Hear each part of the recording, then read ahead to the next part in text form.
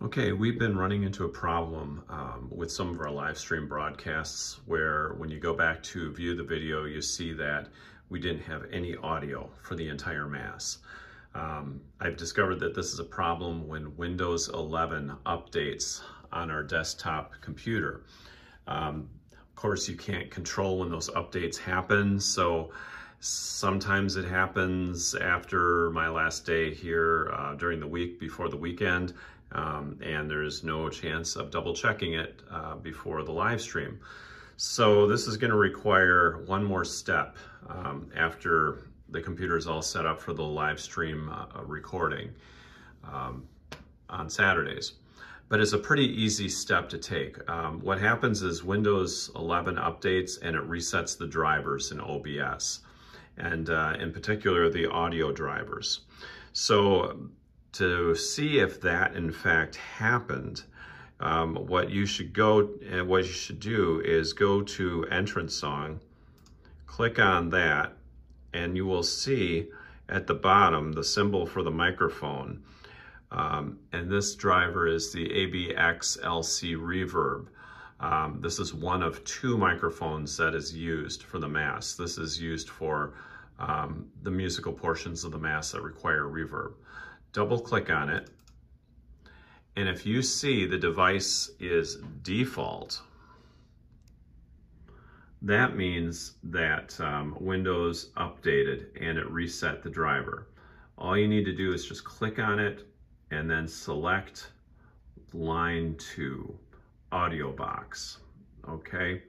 You select that and then click on OK and that, that sound source is fixed.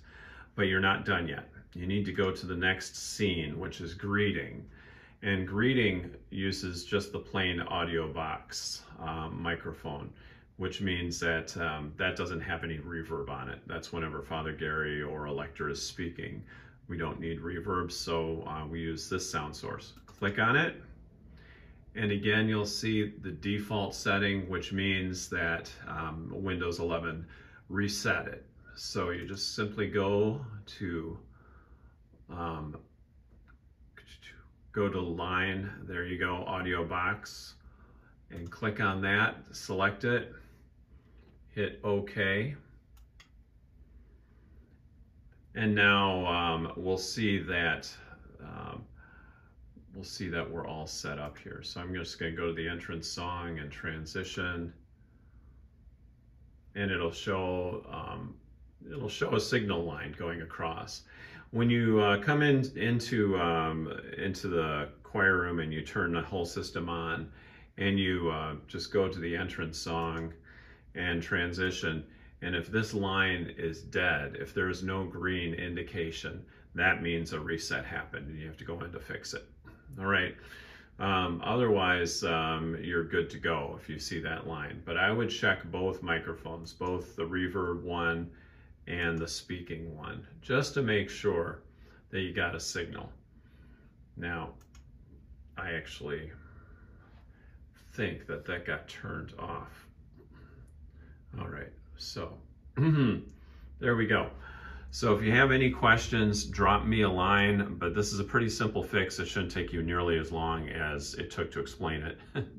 um, but uh, drop me a line if you have any questions about it. I would encourage you to do this before each live stream just to make sure that you're gonna have sound. Thanks.